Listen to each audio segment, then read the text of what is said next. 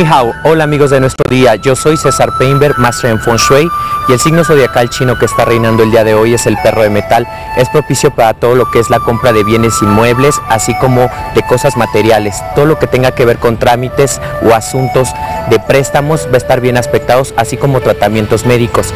Recuerda que el perro es uno de los tres signos bien aspectados, al igual que el tigre, durante este mes del caballo. Evita a toda costa estar cobrando deudas porque es más probable que te enojes a que te estén pagando. También no renueves todo lo que tenga que ver el área de la cocina, ni hacer viajes, ni pedir dinero prestado, ya que va a ser difícil que tú lo estés volviendo a recuperar o a poder pagar.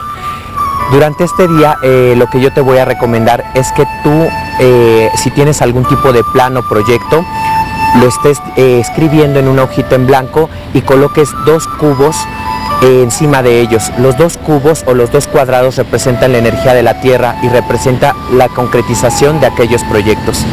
Yo espero que este tip te esté sirviendo el día de hoy y que la luz de todos los Budas te estén acompañando hoy y siempre.